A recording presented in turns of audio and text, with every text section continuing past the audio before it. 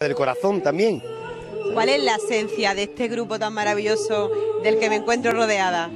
Pues mira, yo creo que la esencia verdadera, eh, aparte, porque de que nos conocemos hace mucho tiempo, ¿vale?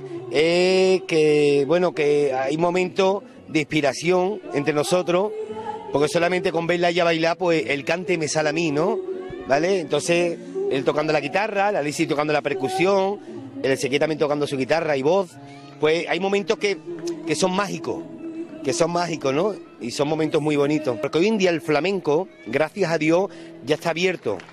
Y el flamenco ya es, aparte que sea patrimonio de la humanidad, el flamenco es una música universal. Y ya hoy en día, gracias a Dios, el flamenco se conoce en todo el mundo entero, que es lo bueno.